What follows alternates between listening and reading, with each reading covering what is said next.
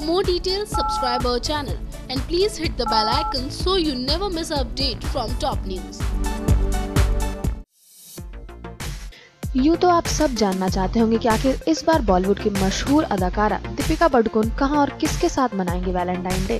तो चिंता मत कीजिए क्योंकि हम इस सवाल का जवाब लेकर हाजिर हो गए हैं। तो जानकारी दे दें कि बॉलीवुड की number one heroine Deepika Padukone पिछले दिनों पहुँची थी एक अवार्ड फ़ंक्शन में जिसका नाम था वोलेयर अवार्ड 2018 जहाँ पहले तो सारे सेलिब्रिटीज का किया गया स्वागत और फिर सबको अवार्ड भी दिया गया। जहाँ सबसे पहले बॉलीवुड के डायरेक्टर साजिद नाडियाडवाला को मिला अवार्ड तो वहीं फिर इम्तियाज़ अली और बॉलीवुड के मशहूर सिंगर और कंपोजर ए आर रहमान को भी अवार्ड दिया गया। लेकिन इस इवेंट में जो सबसे ज़्यादा लाइमलाइट में थी, वो और कोई नहीं, बल्कि दीपिका पादुकोण थी। जी हाँ इस अवार्ड फ़ंक्शन में दीपिका काफ़ी सुंदर दिख रही थी। तो वहीं जब उनसे एक रिपोर्टर ने पूछा कि वो किसके साथ और कहाँ मना रही है अपना वैलेंटाइन तो सुनिए दीपिका ने मुस्कुरा कर क्या जवाब दिया। One minute, one minute. Later, later. I'm, I'm going to be, um, I think, prepping for my next film. I think that's what I'm going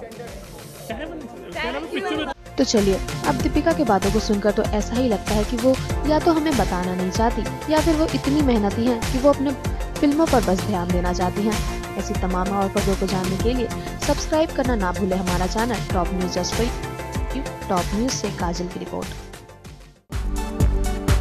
For more details, subscribe our channel and please hit the bell icon so you never miss an update from top news.